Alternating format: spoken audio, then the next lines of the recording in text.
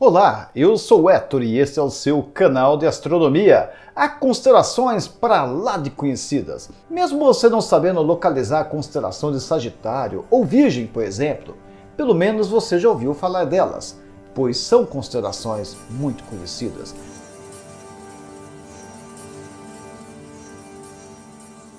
Há constelações igualmente conhecidas que não estão nem mesmo na linha zodiacal, como o Cruzeiro do Sul, que é muito conhecido no hemisfério sul, ou a Ursa Maior, igualmente conhecida no hemisfério norte. Neste vídeo eu vou falar de uma constelação que ninguém fala dela, e você já sabe qual é, pois é o título deste vídeo, a constelação do Corvo.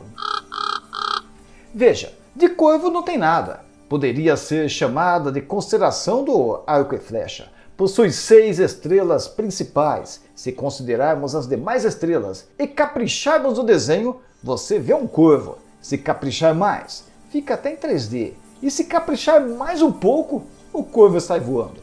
Neste mês de agosto, o corvo é visto ao oeste, se pondo logo no começo da noite. Dá tempo de ver. É uma constelação que vai circundando o sul celeste, bem de longe, e por isso chega a quase tocar a linha do zodíaco. Às vezes, o Sol passa bem perto da constelação com vontade de lamber ela. E assim, o corvo fica por alguns meses sem ser visto no céu. Em dezembro, o corvo é visto ao leste um pouco antes do amanhecer, e a partir de então, a constelação vai nascendo mais cedo, até que em março ela volta a ficar visível ao leste, no começo da noite e pode ser vista durante toda a noite, até se pôr ao oeste.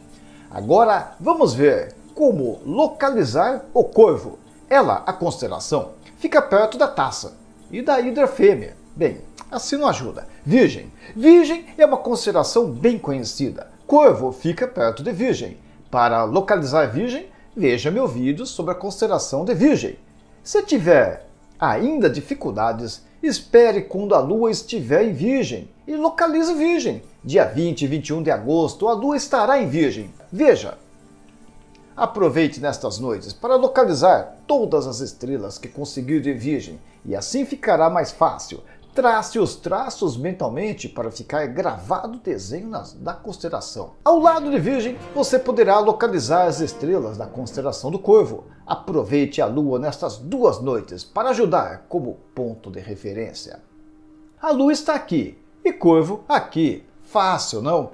As estrelas são mais fracas, então procure por um lugar mais escuro para que a poluição não atrapalhe os seus olhos. Estrelas recebem nomes e todas elas recebem uma letra ou um número. Vejamos as estrelas do Corvo.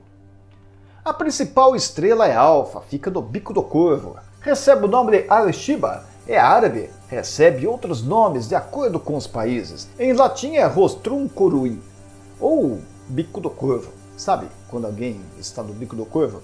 Possui magnitude 4. Era para ser a estrela mais brilhante da constelação, pois é alfa. Mas não é. Mal dá para ver a estrela alfa do corvo. A estrela beta, ou Cras, possui magnitude 2,65 mais brilhante do que alfa. Em seguida temos a estrela gama, ou Gená, com magnitude 2,55, um pouco mais brilhante do que a estrela beta. É uma estrela dupla, ou seja, ao telescópio pode ser vista outra estrela próxima a ela, mas que não pertence ao seu sistema estelar, pois está muito mais longe.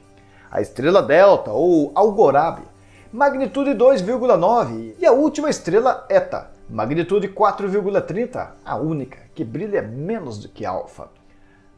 A constelação do Corvo, por ficar próxima de Virgem, possui várias galáxias todas com magnitudes altas acima de 10, difíceis de serem vistas com telescópios comuns e sem longa exposição.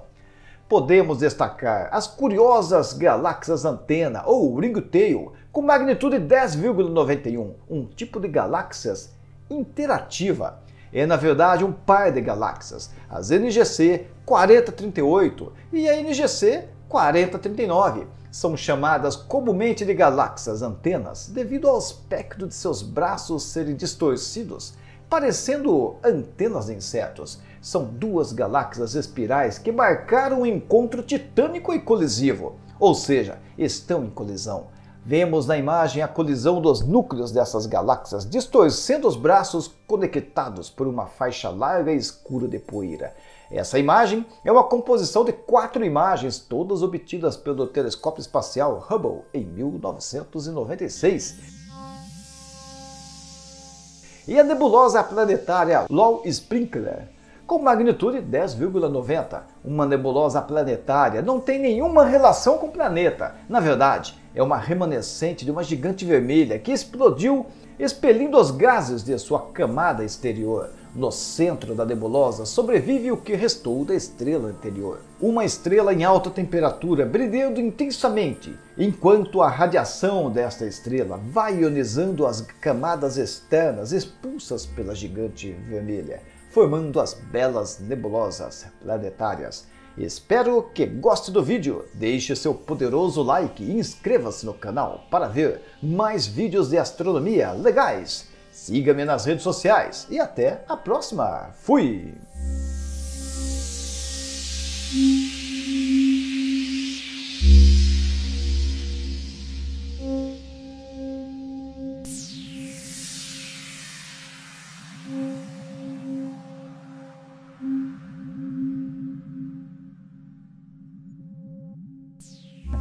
De acordo. Olha, passou um pássaro.